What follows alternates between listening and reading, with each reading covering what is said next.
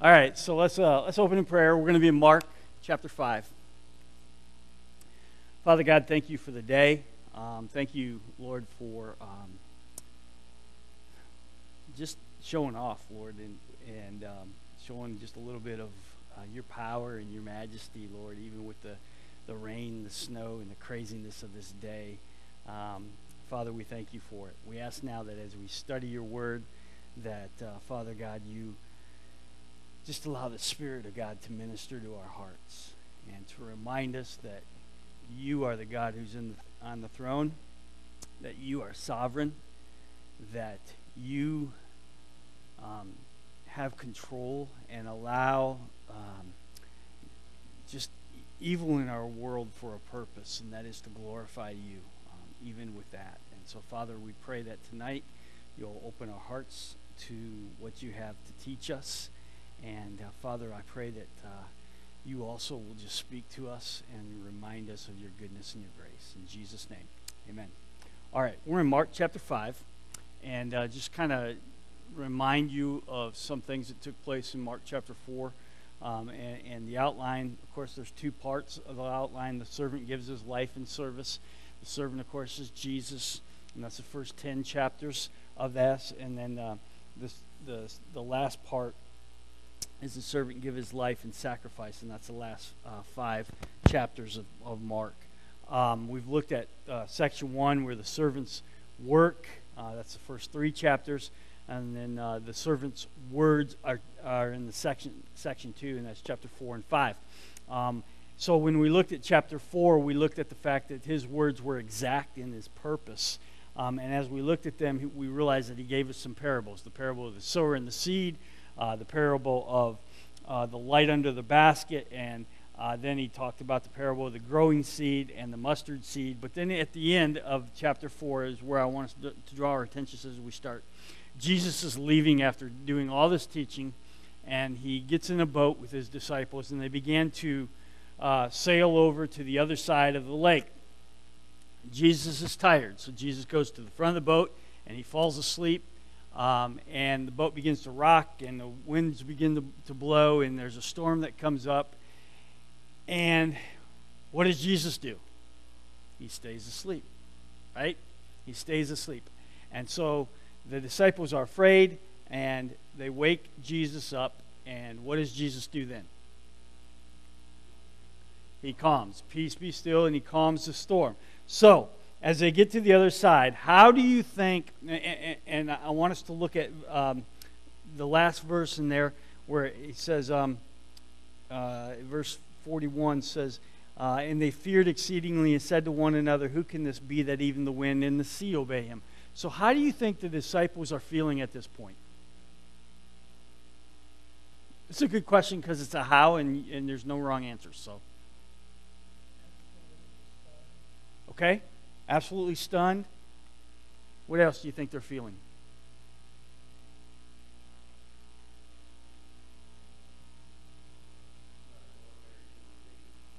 Yeah, he's not ordinary. Okay? What else?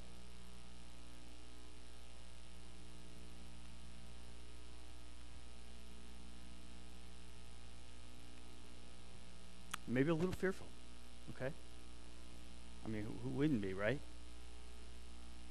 Okay? So we're in this mood, a, little fearful, maybe a little stunned, maybe in awe, um, maybe wondering what is going on. Okay, so we, we have all these feelings going on. And then we come to chapter 5. Chapter 5, he begins to deal in chapter 5 with uh, demons, disease, and death. So look at verse 1. First thing we're going to see, he's going to triumph over these demons, and there's going to be this confrontation here in verse 1. He says, Then they came to the other side of the sea, to the country of the Gadarenes. So the country of the Gadarenes was on the eastern shore of, um, uh, of the Sea of Galilee. Um, it's opposite Mag- Magdalia. Um, it's five miles up from the point where the Jordan River flows into the Sea of, sea of Galilee. So if you're familiar with the Sea of Galilee in Israel, um, you know that coming out of the mountains. The, the, uh, the Jordan River makes its way down, and then there's the Sea of Galilee. And then there, after that, it pours out into another part of the Jordan River. And then at the end, at the bottom of it, is the Dead Sea, where it goes and, and it dies, basically. Um, and so uh, this is five miles north of the Sea of Galilee, and Jesus is say, saying he has to go there. So it's been a wild and stormy night, obviously, for the disciples, right? Um, now it's going to be a wild and stormy morning. Jesus has dealt with the bad weather, but he's about to deal with blatant wick- wickedness. He's about to deal with blatant wickedness. Now, if you're taking notes, here, here, here's a, a, principle, a principle of truth, okay? A principle of truth. The devil never rests. The devil never rests. And he never will. And all we have to do really is just turn on the news, look at what's going on in not just our country, but other countries. Um, I was reading an article today about Israel, and Israel, since uh, Ramadan, Ramadan started, which was like last week, they have had nothing but violence in their city streets. Um, and it's getting worse every night. Um, so, what do we see? What do we see? What do demons cause? They cause anger. They cause bitterness. They cause hatred. They cause, um, they cause violence. They cause um, drunkenness, uh, drugs. They call, cause sexual sins. I mean, everything that Paul lists in Romans chapter 1 um, is caused by them. Okay? And what does our nation need today as we see all this, and not just our nation, but our world? But uh, we need a big dose of Jesus. Um, we need a big dose of Jesus. So we're going to look at demons, disease, and, and death, uh, the three great terrors of mankind. He's, he's going to uh, deliver in turn to these demons to a man, a woman, and a child. So he's going to deal with all three of these. Um, and what we're going to see in here is that we have a great Savior who loves us so much. Okay? So, verse 1 Jesus is going to the Gadarenes, um, to the country of the Gadarenes. Verse 2 and 3. When he came out of the boat, here's Mark's favorite word that he uses often in, this, in his, in his um, gospel. Immediately, as soon as he got out of the boat, there met him out of the tombs a man with an unclean spirit, who had his dwelling among the tombs, and no one could bind him, not even with chains. So, this city uh, this place that he's going to, as he would go get, get closer down, the walls would kind of come in on him, um, and there would be like uh, a steepness in there. And, and in this area would have been some tombs. And out of this area, this man came. Um, and this man would have been the terror of the town. Uh, he, Satan had tried to just drown the Lord in chapter 4. Now he's going to use this demonic man um, against him. And what the disciples thought when this fearful savage appeared, we're not told. But remember, they've just come from seeing him calm the storm, and now all of a sudden this man comes out of the tombs. Okay, so if they were frightened, if they were in, in fear, their fear is even ramping up even more. Um, and so this demented man is now here, um, and he is full of passion and rage. Nor was this man victimized. He was not a victim, uh, one of delusion. He was not someone who was criminally insane, nor was he just an ordinary demonic man. Um, this man was possessed not just by an evil spirit, but we're going to learn la- later on, he's possessed by many evil spirits. All right? Um, so this guy if you will, would be would have been Satan's prize prize exhibit. This guy has is been tormented. He has been driven by a vast number of evil spirits, and he is uh, placed in in in, in uh, far away away from the town. Uh, the people uh, in that vicinity, in that area, would have uh, protected themselves from this fearful man, protected their children from this fearful man. Um, they had tried everything. According to verse 3, it looks like they had tried to chain him. He had broken those chains, in, chains into pieces. They had driven him out. Uh, he lived with the dead. Okay? Um, so he's poor, he's lost, he's lonely. There's, here's this man who's been who is who is hated, he has been shunned, and he is feared by everyone. Now, we don't know how he got into this condition. Um, demon possession is a mysterious but a real condition. Um, any missionary in a third world country will tell you that demon possession is real. Okay? Um, idolatry and demon possessions are often twins. Tampering with the occult, getting involved with drugs, flagrant immorality um, are all means whereby evil spirits get hold of people, invade the bodies, and control their souls. Or you can just watch the evening news, and that'll do the same thing to you. Jesus saw beyond the terrible wreckage of this demented man, and what he saw was a soul that needed and had conflict and confusion and inside this man inside this demonic man was a man who was desperate who was desperate. And a lot of times in life we see someone and we think man that person's evil.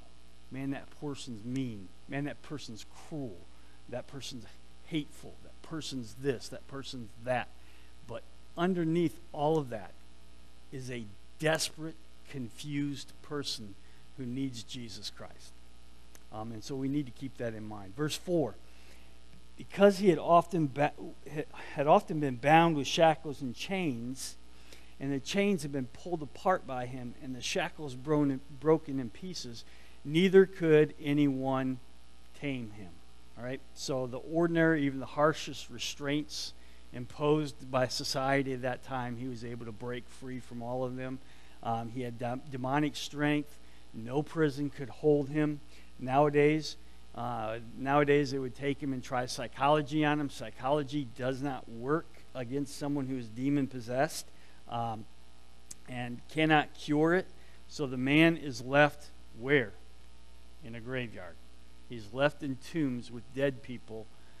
He's a dead person uh, spiritually, uh, but he's in this graveyard and sensible people leave him alone. Verse 5. And always night and day he was in the mountains and the tombs crying out and cutting himself with stones. So you get the picture. I mean, he's in, he's in this tombstone, uh, in this graveyard, and he's howling and he's making weird noises, and, he, um, and, and the people are hearing him. But long ago, his, his um, cries had reached the heart of God and touched the heart of Jesus. And just as Jesus says about the woman at the well, he said, I must go through Samaria. Jesus is the same thing here. Guys, we need to go to the go to the Gadarenes. There's somebody there I need to meet. Somebody there I need you to see. Um, and so the second thing we see is in verse 6 through 8, and that's the contradiction.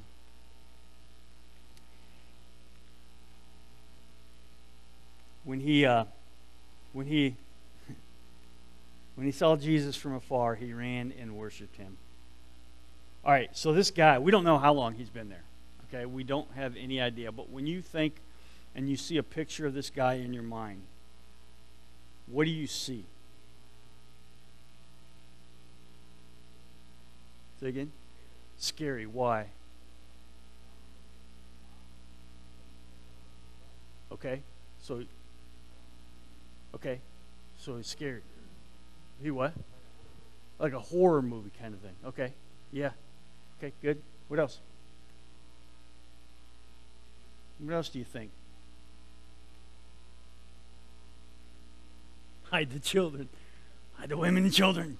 Right? Shrek. Shrek's coming to town. So, smelly. Okay, he's living with the dead, right? Got to be smelly. Okay? Anything else? Emptiness in his eyes. Right? Yeah.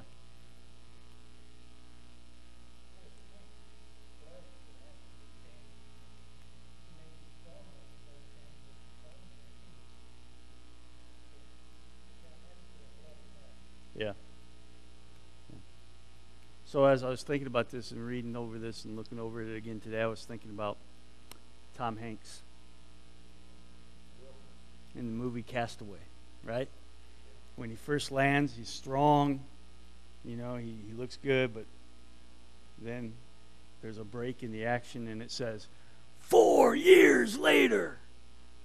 And we really we went to the to the uh, theater to watch it. Lisa and I did, and, and uh, there was like about this many people in the theater, and it said that on the screen, and one lady was like, four years later, real loud, and we started laughing. Um, yeah, and when you look at him four years later, what I mean, he's got long hair, he's got you know, he's dirty. You get the picture of he's smelly, uh, long fingernails. I mean, he, he lost a lot of weight, scrawny, and but he's scary looking, and you're like, ugh, right? We're not told how long this man had been like this, but that's the picture that we get here with him.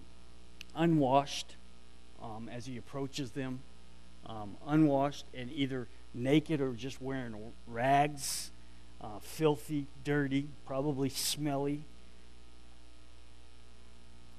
And, and if anybody ever came that way, what would he do? He would chase them away or fall on them violently and do them harm. And so when Jesus comes, what's he do? Verse 6 What's he do? He ran and worshiped him. It's an interesting phrase, isn't it? He ran down, he fell down, and he worshiped him. But then look at verse 7. He cried out with a loud voice and said, What have I to do with you, Jesus, Son of the Most High God? I implore you by God, do not torment me. So is that the man speaking? That was a demon speaking, right? The voice of evil coming out, and it, it's recognizable. It confesses Jesus to be the Son of God. This is not the first time a demon has done this. Um, and immediately, though, it not only calls him Christ, the Son of God, but then what does it do? He calls him Son of the Most High, but what else does he do? He slanders him. He slanders him, and he accuses him. Jesus, you are a tormentor. Okay? Right? Do we see the world doing that today? Yeah. God, it's your fault. It's your fault. It's your fault. You know, you're good, God, but you do this. Okay? Here, here, here it is. And he's tormenting, he's accusing him. Throughout the gospel, we see consistently demons recognize Jesus as the Son of God. They confess him as the Son of God but they also blame him, right? Um, and, and, and Jesus does what? He always commands them to be silent. He, he refuses to let them uh, witness, accept witness from them. Um, and to this day, there are evil spirits who masquerade as the Holy Spirit, and they try to, con- but they cannot confess that Jesus has come in the flesh and that he's Lord. Um, and we see it all over the place. And so the demons that inhabited the body of this wretched man pays tribute to the deity of Jesus Christ. They also knew him by name. He was Jesus, and they addressed him as that. Um, although they hated and feared that name, they knew who he was, um, and they knew who he is. Um, Jesus said to his disciples, You call me Master and Lord, and you say, Well, for so I am. In other words, there's a proper form of address. And here we see him properly addressed, not by the disciples, but by the demons that are in this man. Look at verse 8 now. All right? and perhaps this is how the, the demons who were tormenting this man knew who had arrived on the scene. But he says, For he said to him, Come out of the man. And then he calls him what? An unclean spirit. All right? So the demons are terrified, right? And so everything kind of pauses here for a moment uh, because they know who he is and they know what power that he has. Many of the problems we have in our own lives is we either don't know who he is or don't believe in the power that he has. And, and these demons, they know the power that he has to set people free and set them free from this. And notice what does he tell this these this man, this unclean spirit? What does he tell him? Come out of there, right? Well, not yet, not yet. He doesn't ask that. In verse 8, he says, Come out of that man, right? Come out of that man. they, they had the claim on this man's body, they had a claim on this man's soul. They had fastened upon him. They were there. They, they had no legitimate claim to that house, though. They had no legitimate claim to that house. Um, and they knew it, and Jesus knew it. They could scoff at the poor attempts of the local people to tame him, but they couldn't scoff at Jesus. They knew that Jesus had the power to do that. Because why? Because the demons or Satan himself, the strong man armed, might be able to keep stolen goods. But when Jesus comes along, he's stronger than they are. Um, greater is he that is in me than he that is in the world. Okay? Um, and so that's what we need to remember at all time that demons and Satan himself are no match for Jesus. So, verse 9, we see a confession. So he asked him, RJ, what is your name? and he answered, saying, My name is Legion, for we are many.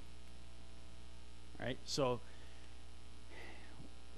we've all seen the movies where people have different personalities, and we've seen the TV shows with people that have different personalities and stuff, and we, we wonder how that can be. But it's because there's more than one demon in that person. Um, and here we see the, the, the Bible who would give us this spiritual diagnosis and he would say, you know what, the problem with all of that is demon possession, and it's real. Um, and in the case of this, this man who was possessed, he was possessed by a legion of demons, literally thousands of them. And so the man's answer to the, Lord's question as to his name and identity is, he says, Legion, for we are many. Um, and so the Lord's presence had already helped him to unravel some of the confusion. Um, it was the man himself who said legion, and it was probably the demons who came alongside and said, We are many. Uh, verse 10 through 12, we see the consternation. In verse 10, he says, And he begged him earnest, also he begged him earnestly that he would not send them out of the country. All right, so who's speaking in that verse? The man or the demons? The demons, yeah. Um, and, and, so, evidently, there is a spokesman for the demons. Um, and if so, then it suggests that this man had grown accustomed to the demons being in him and, and controlling him. Um, and we wonder why does he say not to send him out of that country? What did he mean by that? Well, if you go back to our study in Daniel, we learned from Daniel that there are fallen angels that rule over fallen man in different parts of the country, in different parts of the regions of the world. Satan's agent in the spirit world would rule over designated territories. So we read, we read in there where Gabriel would come down and talk to Daniel and said, and he came, it took him it took him three weeks to get there because he was fighting against the prince of Persia. And as he was going back, he was going to fight against the prince of Greece. He wasn't talking about real people, he was talking about satanic, demonic beings that he was fighting with. And those same beings are still out there today, and they're still controlling different parts of the world. And we can get into all that spiritual stuff and everything else that's out there. But just know that they are real and they are really controlling things. Paul deals with that in the whole thing when he talks about the that there are powers and principalities and powers and rulers of the darkness of this world and spiritual wickedness in high places. What's he talking about? He's talking about demons that are controlling or behind the people that are controlling things in our world. And so there are there are spiritual beings uh, behind and things. Lisa and I were talking about things going on in our in, in our nation and saying, you know, I don't know if anybody could find. She said something about uh, I don't know if anybody could get saved in the White House with all this spiritual, demonic stuff flying around. You, anything's possible with God, um, and so we continue to pray. Um, but with everything going on in our country, seems to be that there are more and more demonic activity going on in our country um, today, um, and so Why is that? Well, because we have basically kicked God out of our country. Uh, we kicked him out of our schools, we kicked him out of our country, and we said, God, we don't want to do that. We can do this on our own. And what we have is a nice way of saying we have a mess. Um, and it's because of our own doing that we have done over the years. Um, and so we are a mess. Um, and this man was a mess um, because uh, these people, these demons were in him. Um, but for some reason, and, and, we're not we're not told, but obviously this if this is the area that they have been assigned to by the devil, uh, he wants them to control that area. Um, and for some reason, they don't want to be kicked out of that area. Um, we don't know if they were, you know, were they terrified uh, of Satan, um, and, or or more than they were of what Jesus could do to them. I, I don't know, or maybe they were just they were just consumed with the fact that maybe Jesus could send them send them to, to, to hell and be done with them right then and there. But they were they, they wanted something other than than that. Um, verse 11 and 12 is interesting. He says, "Now a large herd of swine was feeding there near the mountains. So all the demons begged him, saying, Send us to the swine that we may enter." Enter them. All right, I am going to abstain from doing any deviled ham jokes, Ed. I'll leave that up to you. Um, but uh, the demons who spoke, uh, adding their vo- legion of voices to this of the demonic, and the demons fearing to be again disembodied, craved permission to go into the pigs, into the swine, um, rather than to be left totally embodied. Um, and so they ask, um, which I, you know you find interesting because we think of demons and Satan as being powerful and all powerful and everything else, but they're not. Jesus is more powerful than they are, and they have to ask permission to do anything. Remember the story of Job. God goes to Satan comes in and God says, Hey, have you considered my servant Job? And, and basically, he's saying, Look, you can go and do this to him, but you can't take his life.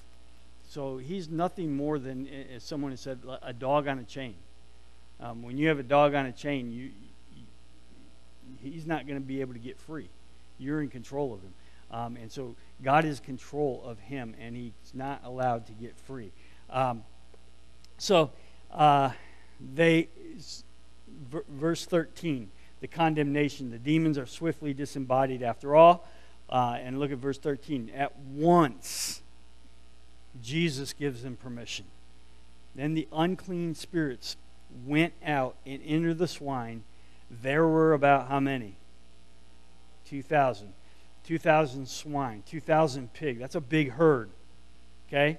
And they all ran, the herd ran violently down the steep place into the sea and drowned in the sea.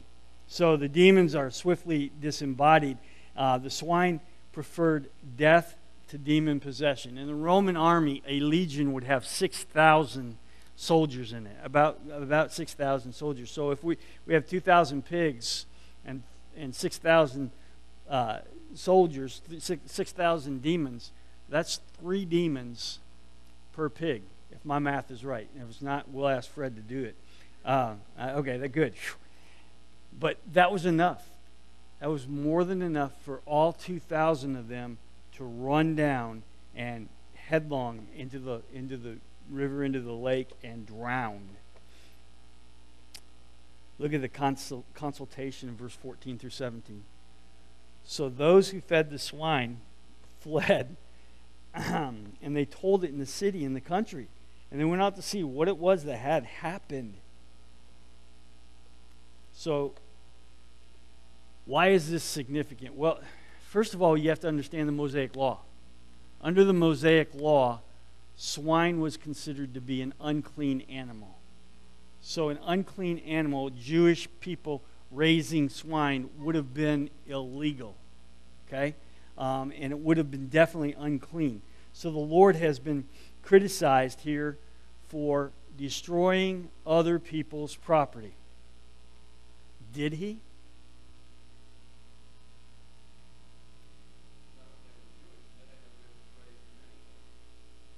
Okay. Okay.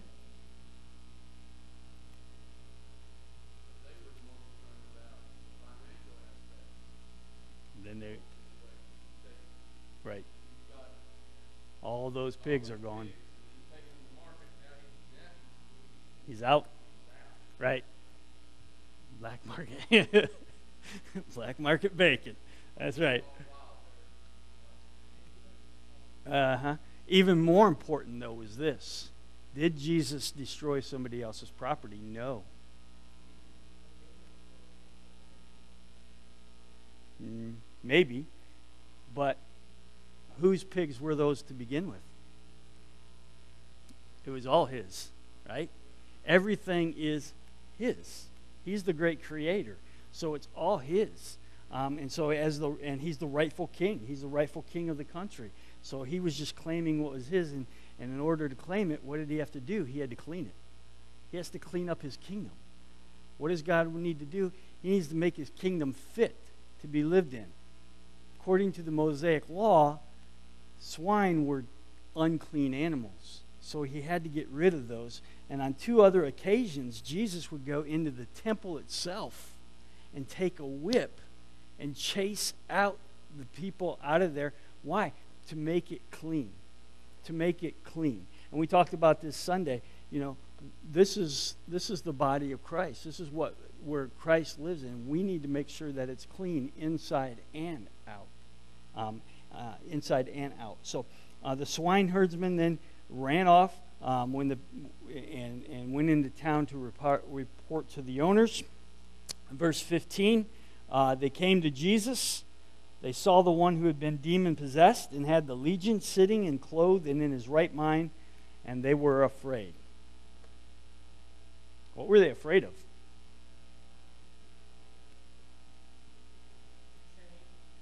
They didn't understand change. Change in that man, okay? Here was this raving lunatic who now is in his rightful mind. How did this take place? Right? Here's this transformed man sitting at Jesus' feet. It's the same when somebody's life is changed by Jesus Christ now. And they sit there and worshiping Jesus in their rightful mind. And we say, well, we'll wait and see. we should be saying, praise the Lord. Look at what he's done. He can change their hearts and change their lives. You what? Oh, okay. you, talk, you talking to me?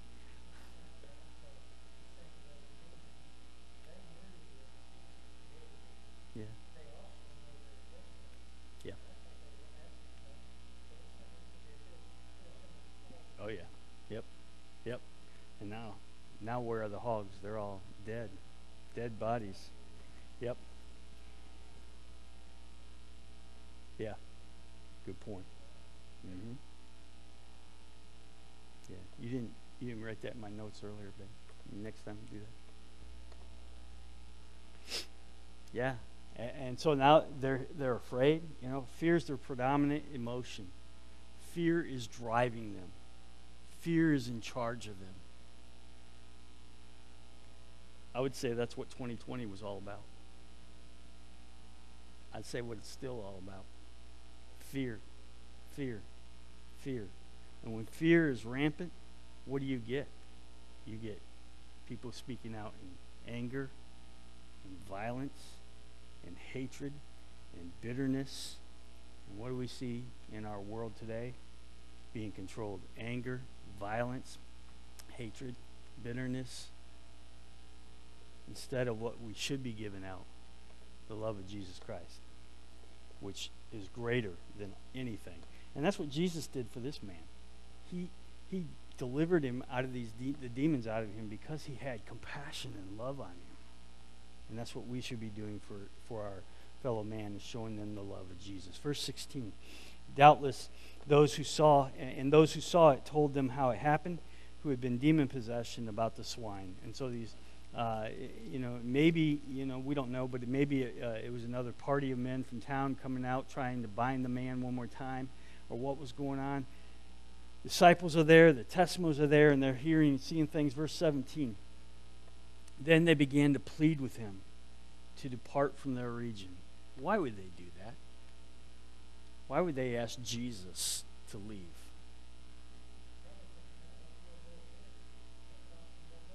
Possibly, yeah. Yeah, this guy's already cost us a lot of money. You, need to go out of town so you don't cause. What else?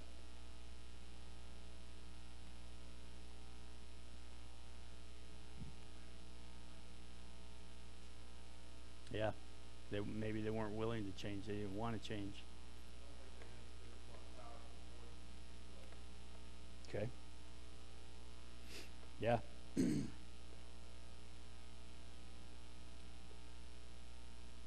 they what? Didn't want to be changed. Yep. I love darkness more than light. Yeah, it's possible. Yep. Whatever it is, they recoiled from that love and that power and um, that grace and that holiness. They recoiled from it. They were afraid of it. Um, and, and, we still see people that are like that today. That they are they they get to hear the gospel and they recoil from it. Um, and that, that's that's the human heart. God, we, we don't want you. We want we want the pigs. So go away, go away. Peter came to that point. Uh, I, am I'm a sinful man. Depart from me, Lord. Um, and, and, and I think it's important that all of us come to that point where we say, Lord, I'm, I'm not I'm not worthy of you. And that, that's where we come to salvation. Lord, I'm not worthy of your goodness and your grace and your love. Um, and, and, we all need to come to that point. And then finally, we have um, consecration, verse 18 through 20. Look at verse 18. Um, and when he got into the boat, he who had been demon possessed begged him that he might be with him. What's he want? What's, what's this man who had been, de- been demon possessed? What's he want? He wants to be with him. He wants to be close to him. Yep. It's a great thing, right? Here it is. Jesus, you freed me. I want to be with you. Man, th- that was a different kind of prayer. Here is a prayer of a grateful heart.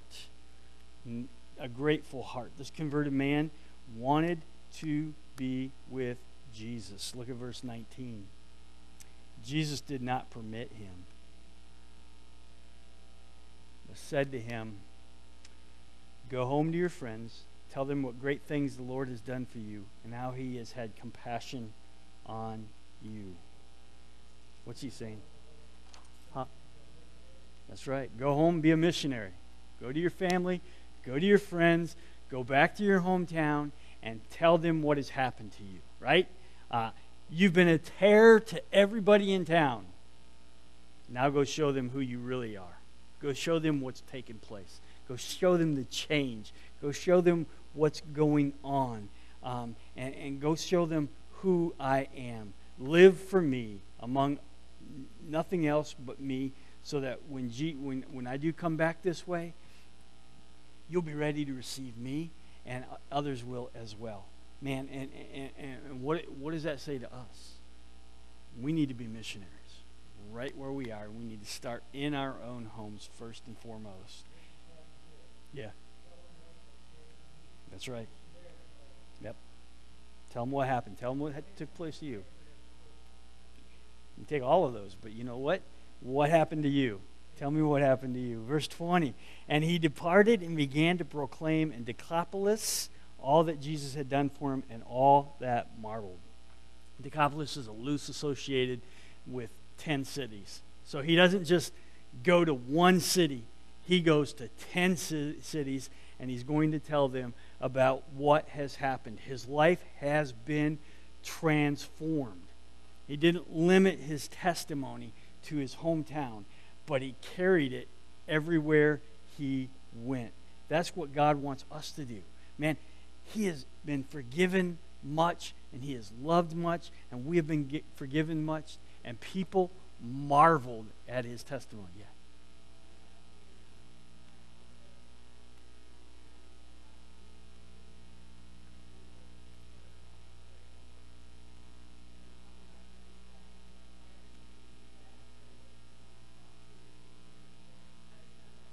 Yep.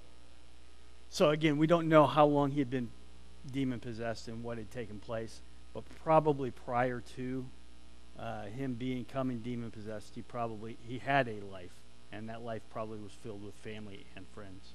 Yeah, good question. That's uh, yeah. So here he is. For, um, he tells us that we are to, uh, we've been forgiven much and we have been loved much, and so we should be sharing with others that we have been forgiven and loved much as well. Because why? Here's a mighty miracle that took place in this man's life. And there's, if you know Jesus as your Savior, there's a mighty miracle that's been take, that's already has taken place in your heart as well. Amen. All right, let's do our prayer request. All right. Um, I don't know if you got prayer sheets or not, but um, there should be some back there, babe. If you want to grab some, if you didn't grab one, I do have a couple I need to update you on and give you. So, um, least can grab some. And um, Sharon Duke is having surgery May the 27th, Neuro, uh, neurosurgery. So remember Sharon um, as she goes through that. And then they're handing these out. Jessica. Um, Jessica is Lee Martinez's daughter, if that makes sense. Okay, I didn't know her last name. Um, Jessica, the second one on there, is Lee Martinez's daughter. She is pregnant and she has high blood pressure. She just got out of the hospital this week, so he's asked us to pray for her. Joyce Stowers. Joyce, um, Joyce is, um, is a lady that comes to our clothing drive. She's a regular. Every time we have our clothing ministry, she's out there.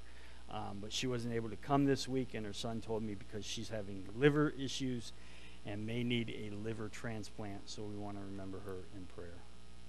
No relation to you, is she, Tim? You don't know. Okay. Vicki McCord's neighbor's son has um, multiple sclerosis. Um, and then Barbara Kern's granddaughter um, Malia, we've been praying for her for a while. Uh, she's having some major surgery tomorrow. Um, uh, Barb told me that it's going to take at least 10 hours. Um, and uh, the surgery will be 10 hours. She'll be in the hospital for at least two weeks and then home uh, refinement, uh, confinement for two months after that. So, um, yeah, be in prayer for her. Um, yeah.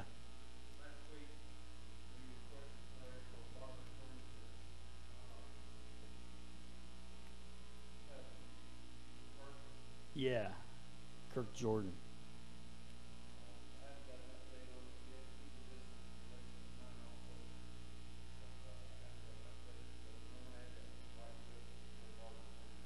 Yep, sounds good. Okay, um, yeah, I had that up here too. Um, and she said that he's on life support, so it's not good. Um, and then, Lauren's still positive, or she we don't know. Continue to pray for Lauren. Um, and then uh, Ken Swiger had his um, heart cath. He had three three stents put in, right? Is that what it? Yeah, three stents put in, and um, got a call from the doctor today. And you know he's been wearing that light. I, I laugh, but it's not funny. I, I feel sorry for the guy. He's been wearing that life vest, and he had to wear it for like 90 days well, because they did the heart cath, now his days start over. So he's got to wear it again until the end of July. So that's not much fun. So remember Ken in your prayers. Um, and then Laura Chapman is having her esophagus stretched tomorrow. Um, so be in prayer for Laura. Okay. I said Sharon. Yes, ma'am. Thank you. Anything else?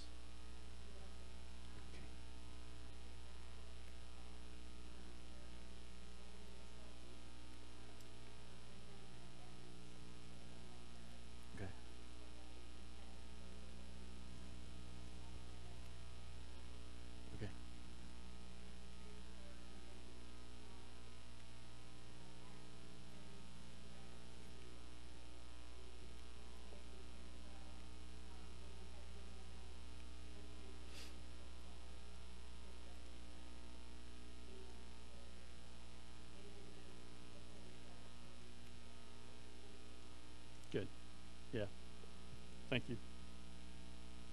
Anything else? Okay.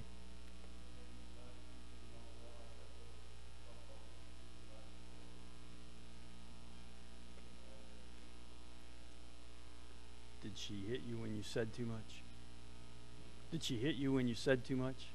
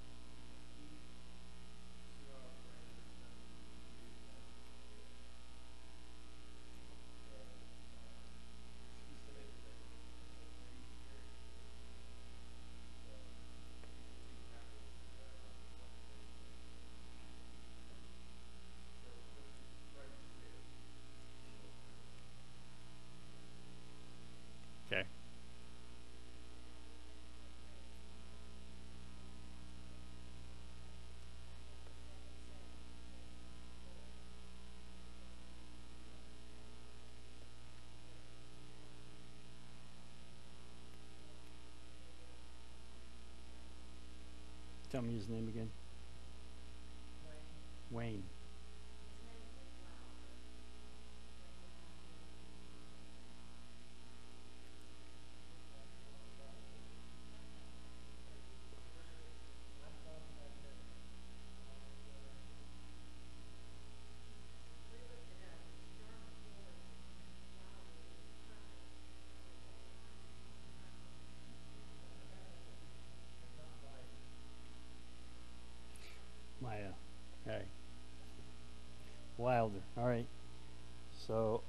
And the praise. My, we had we'd been praying for my uncle Norm because we thought maybe they thought maybe he had a spot that was cancerous, but they found out that it wasn't. So, praise the Lord for that.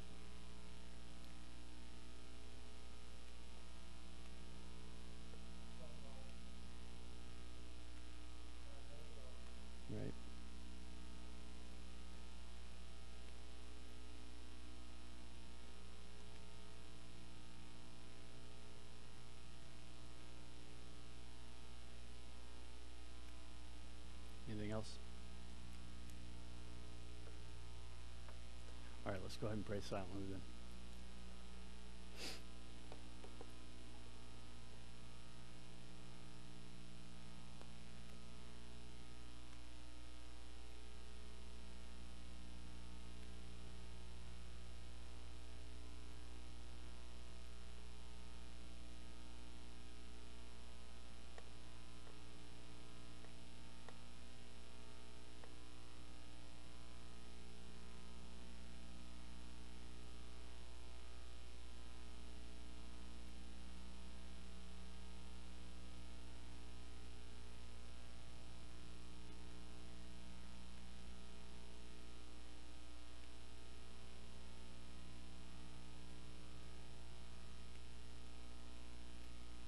Father, we praise you again for your goodness and your grace and your love. We thank you for who you are.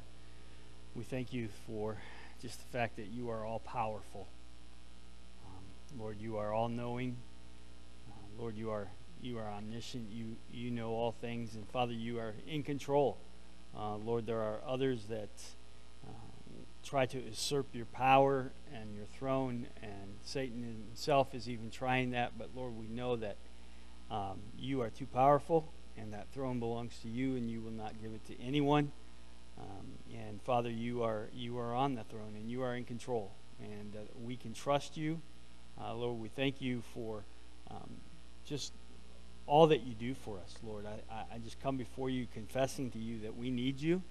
We are not worthy of you, but Lord, we want to serve you and worship you because you alone are worthy. Uh, Lord, you tell us th- that um, we should only we should have no other gods before before you, uh, Lord. You are the only one that that we can and, should worship, Lord. And so I pray that we would do that, Lord, and, and that every aspect of our life would be just centered around um, worshiping you um, and worshiping you and serving you and living each moment for you, Lord. We thank you for that. We just thank you for your goodness and your mercy and your grace. Uh, Father, we come before you tonight just praising you for uh, answered prayer. Uh, Father, I know that you've already answered our prayers um, and that you've already um, know what what uh, what each person needs, and you meet them accordingly. And Father, we thank you for that. We thank you for uh, Sharon as she prepares for surgery and for the doctor. And Lord, just pray that you go before her and strengthen her and help them to help her with her back. And um, Lord, just to take the pain away. Father, we thank you for that. We pray for Ken. You continue to strengthen him and encourage him, Lord. And we thank you for that and what you're going to do in his life, Lord. For Barbara Kern's granddaughter, Malia, Lord, as she faces major surgery tomorrow, we pray for comfort and grace and uh, for the doctor to have uh, the rest that he needs and just to be in.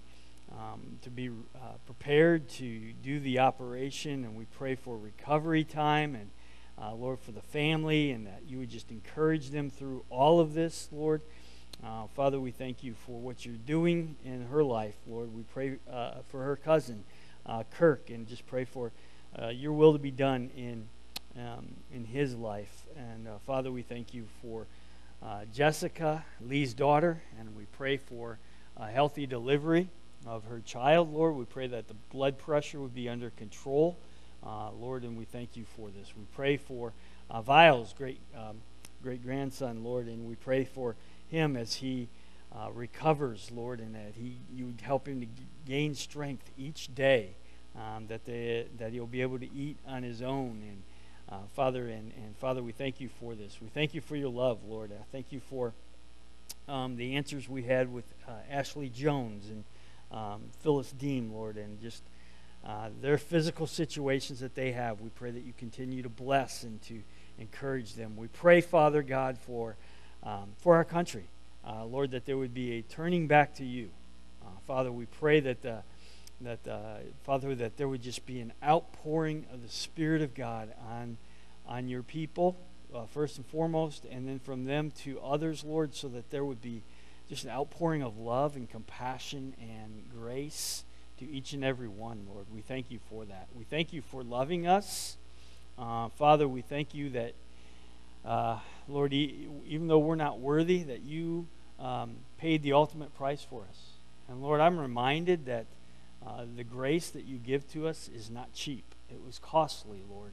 It cost you your son and cost, uh, cost you your life. And so, Father, I pray that as we uh, are living to be disciples for you, that we would realize that um, that grace is, is costly. Um, and it may cost us something, but Lord, it's a uh, even as, as Peter and John, the disciples, said, what a joy it is to be able to be, uh, to, to be able to suffer for the name of Jesus Christ. And so, Father, may that be our uh, desire. And, uh, Father, may you go before us as we serve and live each moment for you. May you be glorified. You alone are worthy, for we pray in Jesus' name. And all God's people said, Amen. All right, uh, a couple of pr- uh, announcements. One, it's supposed to rain on Saturday, so we will not be having our men's our work day for the pavilion. I always say men. I should just say work day, right? Um, our work day for the pavilion this week. So um, if you're planning on coming, um, if you show up, you might be all alone. Um, two is there is a prayer sheet out there uh, for our 24-hour prayer. That is next Thursday. Um, there's some slots out there, so if you have not signed up, they're 15 minute slots. We're praying for a revival. There's a prayer sheet that goes with it. Um, sign up. You can sign up for more than one. You can sign up for two, three, four, you in an hour, in a row, or different times, or whatever. But do that. Um, three, be here Sunday morning, 10:30. All right. God bless y'all. Have a great week.